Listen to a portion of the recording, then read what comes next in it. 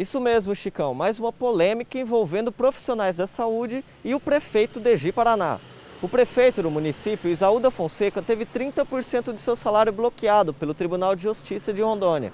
Na determinação, o bloqueio soma mais de 77 mil reais e será pago em 26 parcelas. A ação é de 2019. Na época, um funcionário da Câmara de Vereadores faleceu e o corpo necessitava de uma necrópsia. Segundo Isaú, a necrópsia havia sido marcada para a madrugada e só foi realizada às sete e meia da manhã do dia seguinte. Com essa situação, o vereador buscou os veículos de comunicação local, onde fez acusações contra a médica legista, ofendendo e inclusive chamando a mesma de preguiçosa. Não demorou muito para que o juiz condenasse Isaú por danos morais. O que aconteceu em seguida foi que Isaú não tinha nenhum imóvel em seu nome e não foi possível que a médica recebesse do seu processo. Depois das eleições, foi declarado em seu nome um imóvel na zona rural de Ouro Preto. Foi pedido a penhora e Isaú comunicou que o imóvel, na verdade, era de um amigo empresário. O empresário não conseguiu a liberação de seu imóvel na justiça, assim perdendo ele. Para não ficar no prejuízo, o empresário entrou na justiça para receber e o TJ de Rondônia fez o bloqueio.